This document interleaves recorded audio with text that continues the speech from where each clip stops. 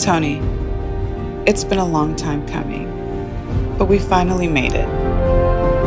From this day forward, I promise to be the husband, protector, father, and friend that you've always seen me and knew that I could be.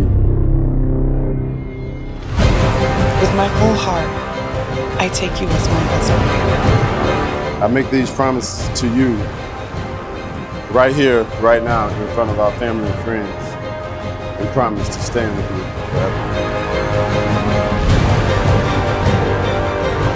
For you are my person, my friend, my love, and my life. And this I vow to you today, tomorrow, and always.